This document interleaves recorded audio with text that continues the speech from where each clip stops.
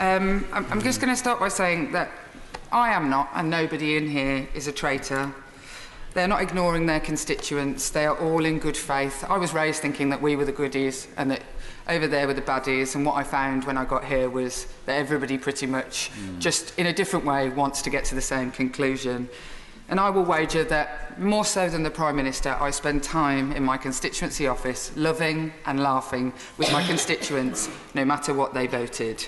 I don't just want to probe into the idea that we all get abuse, and no doubt we're going to hear a lot of that today, because we all get abuse, and I've had a death threat this week that literally quoted the Prime Minister and used the Prime Minister's name and words in a death threat that was delivered to my staff. Um, so we know that it, it gets out. What I want to look at today and what I want answers to today is when there is a clear strategy to divide. The use of language yesterday and over the past few weeks, such as the surrender bill, such as invoking the war, such as talking about betrayal and treachery, it has clearly been tested and workshopped and worked up, and it is entirely designed to inflame hatred and division. I get it. It works. It is working. I, I mean, we're all ambitious. I'm not going to pretend that I'm not ambitious, but I also have a soul. It is not sincere. It is totally planned. It is completely and utterly a part of a strategy designed by somebody to harm and cause hatred in our country. When I hear of my friend's murder and the way that it has made me and my colleagues feel and feel scared, described as humbug, I actually don't feel anger towards the Prime Minister. I feel pity for those of you who still have to toe his line. You, the people opposite me know how appalling it was to describe the murder of my friend as mere humbug.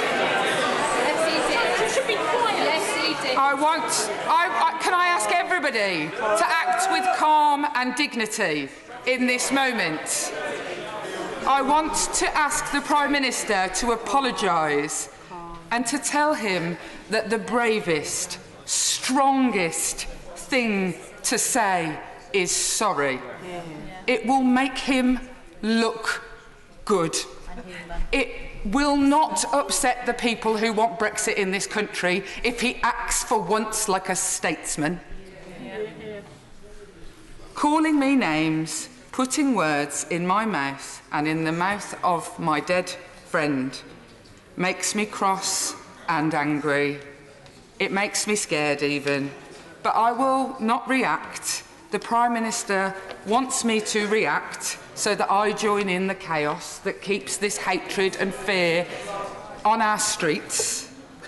I simply ask the Minister today to request to the Prime Minister, who's notable by his bravery today, I ask him I ask him to ask the Prime Minister to meet with me in private with his advisers and some of my colleagues and my friends from Jo's family so that we can explain our grief and try to make him understand why it is so abhorrent that he has chosen a strategy to divide rather than to lead. Yeah. Minister Foster. Thank you, Mr. Speaker, and I will show a calm and dignity in, in my responses today as well. I would be very clear that the government is looking at how we create a safe environment. How we, and not just in terms of for members of parliament, but for journalists and for the others in public life who can face abuse merely for wanting to be involved in what they do, and of course, members of the judiciary. I'm always clear no one is a traitor for saying what they believe or for arguing a different political point. That is part of public debate. The last actual traitor was in 1946, someone who tried to support those looking to overturn this democracy by violent means. But I think it is right to say that the government is moving to take action. We have the online harms white paper working with colleagues in the Department for Culture, Media and Sport to tackle some of the corrosive nature of the debate online.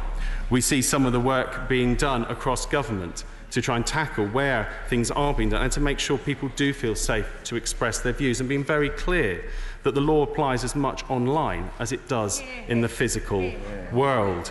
And I think we can all look at what may have been said over years, and I'm sure the honourable member will look at anything she said over the years about particular political, particular political figures as well. But it is about how we don't get into a game of whataboutery, but it's how we focus on what we can do to protect. And also heard the comments you made this morning, Mr Speaker, about some of the suggestions, and I'm sure you, like me, will be interested to hear some of the thoughts that come out about that idea that has been floated with you.